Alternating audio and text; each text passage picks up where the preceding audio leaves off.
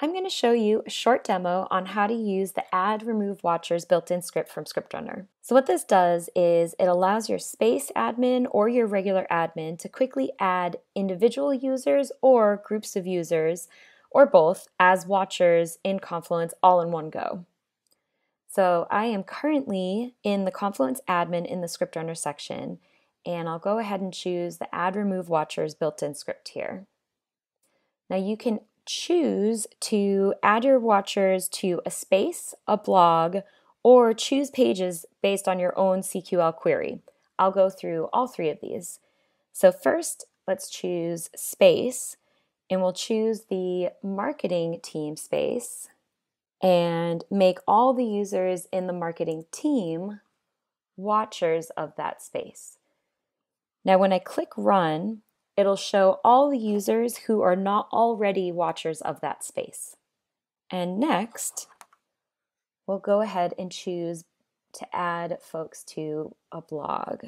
Now, blogs are treated a little bit differently in Confluence, so you could have people watch a blog in the space without having to watch the entire space. Now, let's choose one of our spaces here, and this time we'll just choose a couple people so individuals.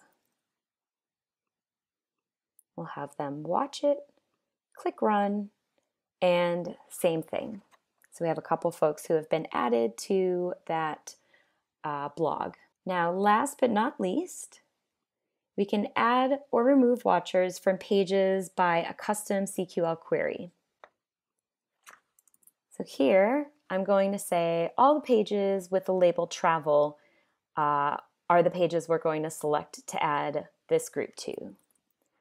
We'll select World Travelers and let's also, why not, add an individual user as well.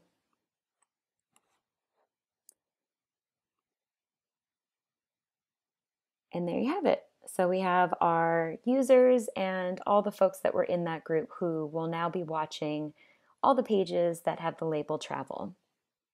If you've used our separate notifications app before, you'll recognize some of these capabilities. What we've done is we improved on them and we added them to the core ScriptRunner for Confluence product here. So no need to add another uh, add-on, it's all right here. And like I said before, it is available to not only your admins uh, in the Confluence admin section, but also to your space admins please let us know how you're using it. Thanks very much.